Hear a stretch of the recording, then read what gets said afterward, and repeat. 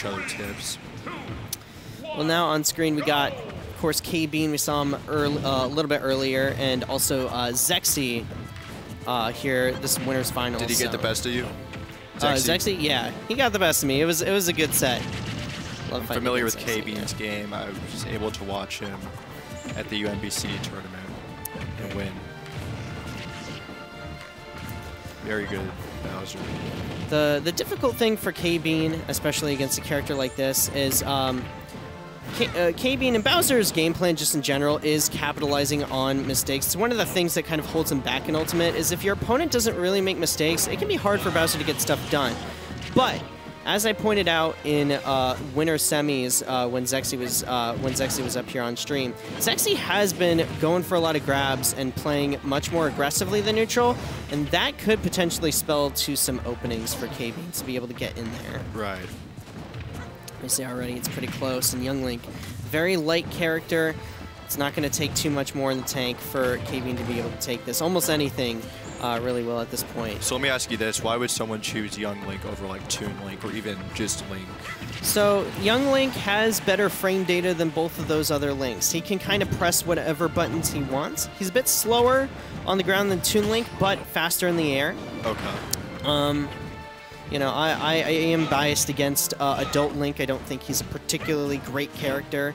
Doesn't have the best results in this game. Toon Link has, though, um, and they all play quite a bit differently from each other. I would say Young Link uh, definitely has the tools uh, to play a bit more aggressively than the other two. Right.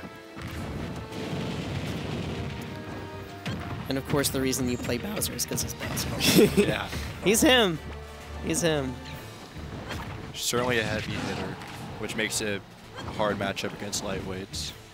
Yeah, it makes it tricky. It means that you have to be playing on point because you know, one, one or two of those openings can really do it. I mean, every single move that these characters has literally does more damage Right. uh, than anything that Young Link has in the tank. What's interesting, I, I use a lightweight character, and I do like playing against heavyweights because of that big hitbox.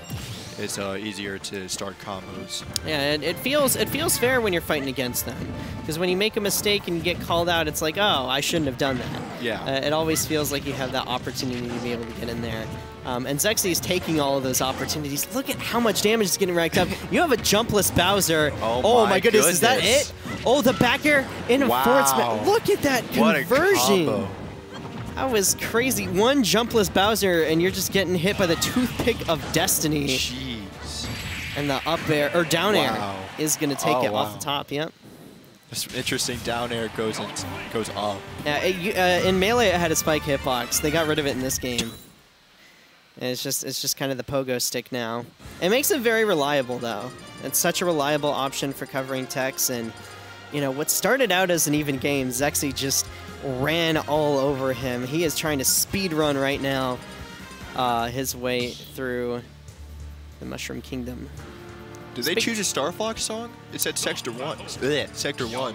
Uh, I'm I'm not sure. I'm not too familiar with a lot of. There's so many songs in this Uh, game. yeah.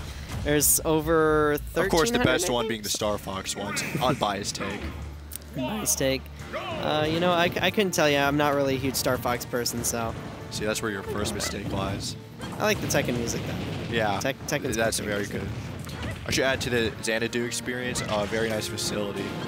Uh, plenty of monitors and uh, consoles to play with. Got 30, 34 setups on deck, I believe, something something around there.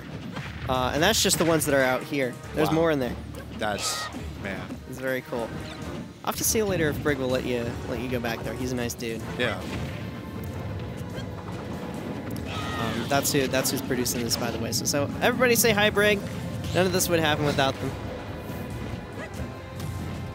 Got. Pretty even percentages between the two. Gets the grab there, throws back. Know, both players. K-Bean was just waiting for his opening. I do notice K-Bean likes to use the fire whenever uh, someone's, whenever he's at the ledge. Yeah, it's very good for catching people trying to get back to the stage.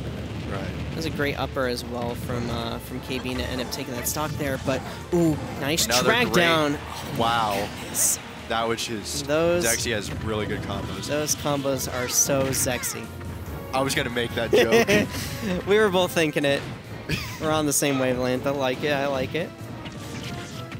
Oh, Zexy Cooper's in the back. again getting in there, just not letting up. K-Bean cannot get out. K-Bean. Wow. Oh my goodness. Zexy just dragging if him Zexy can keep up his game like this, I think he'll get a sweep. The problem is you just you can't land as this character. What do you do when you can't touch grass? I don't think he took a hit. I think that was just a clean stock. Finally, K being able to get in there with the side B, but Zexy Chooses not to use the fire either. didn't have the time. Zexy's not really giving him the opportunity. Gosh. Side B coming out once again. K-Bean looking to even this up before he is 100%. It looks like he's struggling to do it. I mean, uh, I mentioned this in game number one, right? K Bean prides on on being able to capitalize on mistakes, and Zexy is not making a whole Not lot at of them. Not at all. Not at all.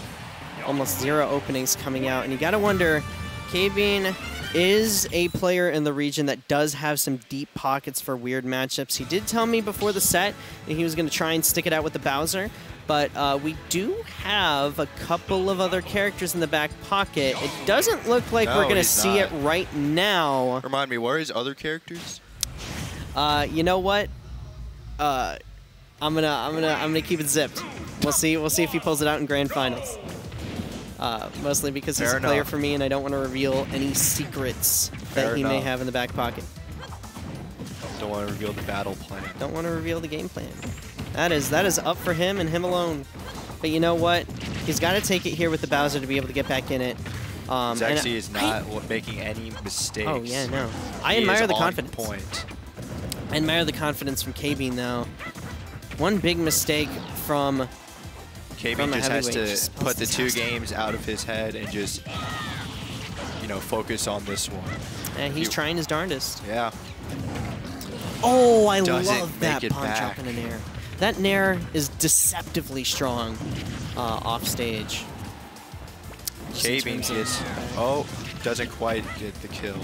Yeah, that's a crucial drop too. I mean, that's one of the places where this character shines. And oh, There the we go. We got dash back Okay, down KB. smash. Okay. Wow. You'll love to see it.